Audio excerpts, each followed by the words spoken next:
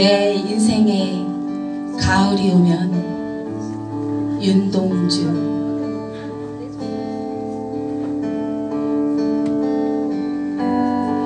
내 인생에 가을이 오면 나는 나에게 물어볼 이야기들이 몇 가지 있습니다. 내 인생에 가을이 오면 나는 나에게 사람들을 사랑했는지에 대해 물을 것입니다. 그때 나는 가벼운 마음으로 대답하기 위해 지금 많은 이들을 사랑해야겠습니다.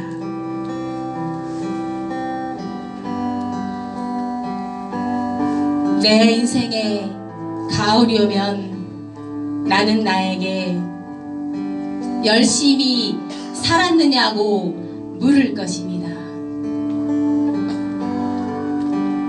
그때 나에게 자신있게 말할 수 있도록 하루하루를 최선을 다해 살아야겠습니다.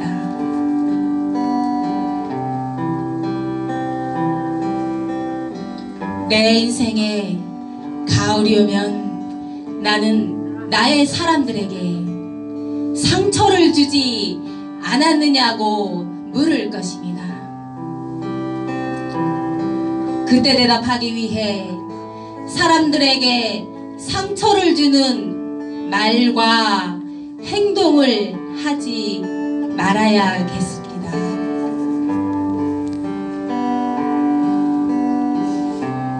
내 인생에 가을이 오면 나는 나에게 삶이 아름다웠냐고 물을 것입니다. 나는 그때 기쁘게 대답하기 위해 내 삶의 날들을 기쁨으로 아름답게 갖고 나가겠습니다.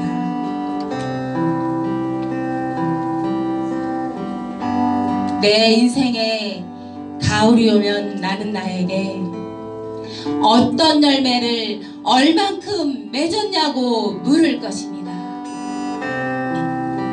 그때 나는 자랑스럽게 대답하기 위해 내 마음밭에 좋은 생각에 씨를 뿌려 놓아 좋은 말과 좋은 행동의 열매를 부지런히 키워 나가겠습니다.